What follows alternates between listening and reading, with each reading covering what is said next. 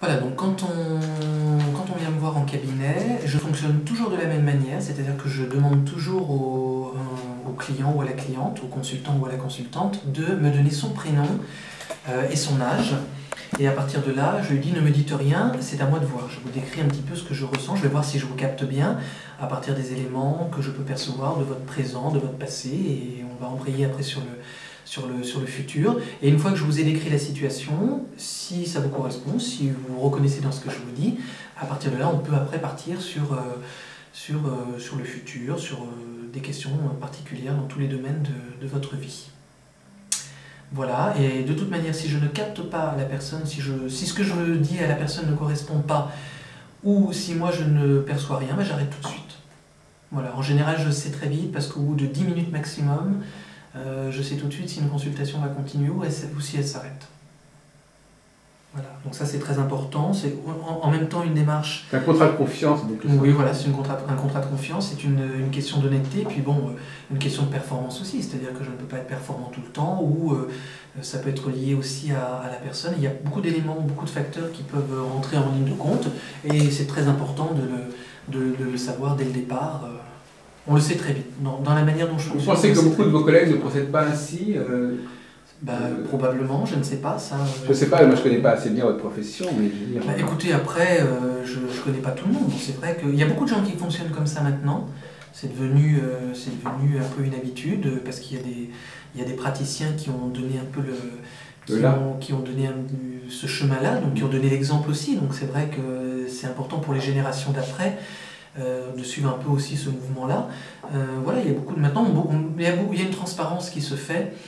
Euh, c'est très important, beaucoup de médiums l'ont fait au départ, surtout pour, justement donner une transparence et puis surtout montrer qu'il y avait des, les capacités existaient et puis, que les capacités extrasensorielles existaient. Et puis, que voilà, et puis surtout le fait que les, personnes honnêtes, les, praticiens honnêtes ne peuvent pas continuer une consultation si ça ne correspond pas, c'est impensable. Oui. Ça paraît impensable. Non euh. Puis c'est comme pour tout, c'est-à-dire que euh, moi ça m'est arrivé aussi quelquefois, c'est-à-dire que là où il y a une consultation qui peut ne pas passer, euh, malgré le fait que vous voyez très bien sur le futur de la personne, c'est-à-dire que la personne n'est pas, pas prête à entendre, ou ne veut pas, ou refuse, et, et tout d'un coup il y a une énergie mauvaise, c'est-à-dire que bah, moi j'arrête parce que j'ai pas envie de passer une heure à me bagarrer ah, énergétiquement avec la personne, parce que je... Et puis vous avez aussi des personnes qui sont de mauvaise foi. Vous leur dites quelque chose, c'est vrai mais non. Alors, je ne comprends pas ces personnes d'ailleurs. Soit ils veulent vous tester, ou. Bon, bah, on sait très bien que ça ne peut pas aller. Mm. donc, il y a plusieurs. En général, quand ça ne fonctionne pas, c'est souvent ces cas de figure-là, ou le fait que je ne capte rien parce qu'il y a un blocage de la personne ou autre. Mais, mais généralement, euh, rarement de mon fait à moi, je dois l'avouer. Euh, Alors, je vais poser une question un, un petit peu pittoresque ou, folklorique. Est-ce que, est que vous avez une salle d'attente? Comme dans une profession libérale, ou est-ce que ce sont des rendez-vous bien espacés? Est-ce qu'il y, est y, a un endroit? Parce qu'autrefois, vous savez, autrefois, il y, avait, mm. il y avait des gens qui, on voyait des gens attendre, attendre dans les escaliers, etc. Est-ce que, est que vous avez ce qu'on appelle le, la personne qui peut, par exemple, euh, attends, est-ce que quelqu'un arrive à avoir la consultation elle ça, attend, ça, euh, ça, peut arriver. Alors surtout, généralement, quand déjà je prends pas plus de 4 rendez-vous par jour, donc il ne mm. peut pas y avoir une longue liste, une longue salle d'attente euh, déjà. Mais par contre, ce qui m'est arrivé, c'est que il y a quelques années, je n'arrivais, je débordais beaucoup, c'est vrai, parce que comme je vous ai expliqué tout à l'heure, il fallait que j'aide, etc. J'étais plus dans cette relation-là au départ. Euh, il y avait la médiumnité plus le suivi derrière, chose que je ne fais plus maintenant parce que c'est plus mon rôle, ce n'est pas mon rôle. Mais euh, si vous voulez, euh, ça, pouvait durer longtemps. Donc effectivement, il y avait toujours un décalage, il pouvait y avoir un décalage.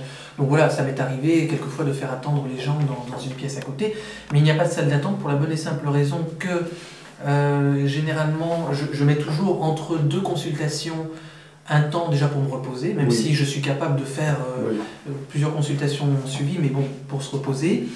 Parce que les gens peuvent être en retard aussi, ça peut leur, arriver également. Donc on peut pas non plus. Euh, et puis moi, il peut, il peut m'arriver aussi que forcément je sois un, petit peu. je dépasse un petit peu parce qu'il y a eu du retard sur la personne. On peut jamais complètement. Faut mieux prévoir Mais c'est toujours sur rendez-vous, les gens peuvent pas arriver comme ça chez vous. c'est vraiment sur rendez-vous.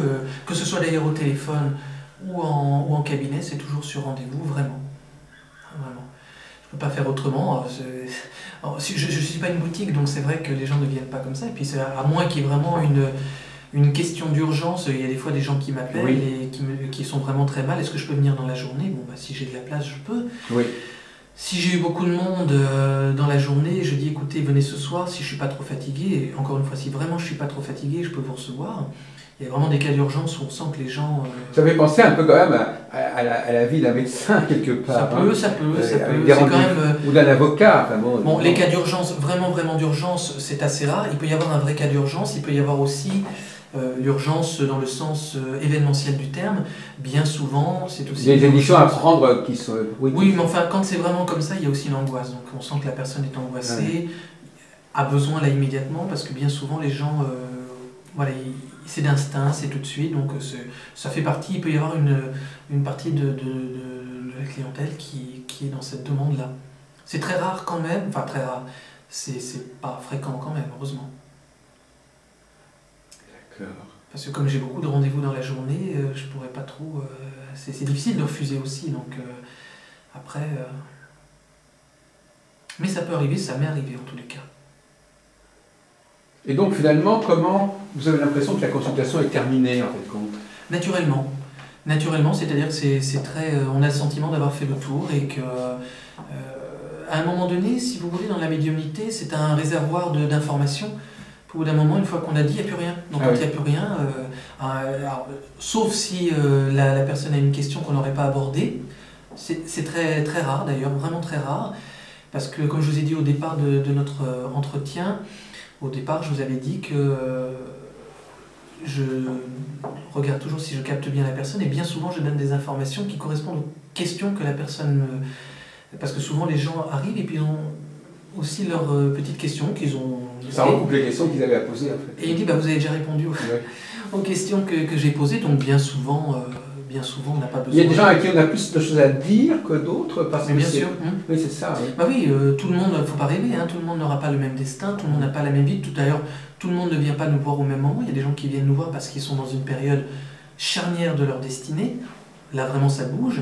D'autres personnes non, donc c'est vrai que ce sera plus un bilan à long terme. Donc euh, voilà, il y a, tout est variable, donc euh, tout est vraiment euh, différent. On ne peut pas généraliser, on ne peut pas dire la personne qui va venir me voir aujourd'hui, ça va être comme celle d'hier ou comme celle d'il y a une heure, c'est pas possible. Est-ce qu'il y a des situations qui reviennent Souvent on entend dire voilà que certains problèmes reviennent chez certains clients à certaines bah, époques euh. Oui, forcément. Bah, il y a des situations, écoutez, à partir du moment... Parfois, vous remarquez probablement avec un certain amusement que les mêmes questions sont posées le tel non, jour. Non, euh. vraiment, le, destin des gens est différent. Bien évidemment, vous comme moi, on, on, a tous, on est des êtres humains, donc forcément, dans, dans, dans, dans la vie de, de, chacun, il y a beaucoup de divorces, il y a beaucoup de séparations, il y a des maladies, donc c'est un peu euh, le commun de tout le monde. Mais cela dit, euh, tous ceux qui vont venir nous voir n'auront pas au même moment les mêmes problèmes, donc parfois il y a des situations qui reviennent. Mais euh, c'est pas tellement la situation qui est la même, si vous voulez. Enfin, la, situation peut être la même, mais c'est souvent le, les détails qui sont différents. C'est-à-dire que ah deux, personnes qui vont vous parler de, divorce ou de procès, ça va pas d'abord être le même procès. Euh, le divorce, vous avez un, mari qui va être manipulateur, l'autre non. Donc la situation est là peut-être la même, mais le contenu est complètement différent. Donc euh, finalement, on ne parle jamais des mêmes choses. On ne parle jamais des mêmes choses. Alors il peut arriver, très rarement, mais il peut arriver de dire tiens, j'ai vécu, j'ai eu le, exactement pratiquement le même cas d'un client l'autre jour, mais enfin bon, ça s'arrête là. C'est pas. Bon, ben C'est ce qui donne d'ailleurs la magie à, à ce métier, c'est que c'est vraiment jamais pareil, c'est complètement différent euh, suivant, euh, suivant, les, suivant les moments. Par contre, ce qui, ce qui est un phénomène que l'on peut, euh, que l'on peut apercevoir, ça c'est vrai, pour une raison probablement cosmique, énergétique ou astrologique peut-être aussi, c'est que vous avez des périodes où je vais avoir que des chefs d'entreprise qui vont venir me voir, dans la majorité. Et puis il y a des périodes, je vais parler que de la scolarité des enfants. J'ai sur trois jours, je vais parler que de ça. Alors il y a un effet comme ça de. Mhm. Euh, quelquefois c'est mélangé, puis quelquefois vous avez des thèmes qui reviennent alors que les gens ne se connaissent pas. Euh, et c'est presque, on va dire, un hasard entre guillemets, mais comme il n'y a pas de hasard. Donc il y a des courants comme ça, il y a des périodes où on reçoit plus de gens sur tel ou tel. Là par contre c'est vrai.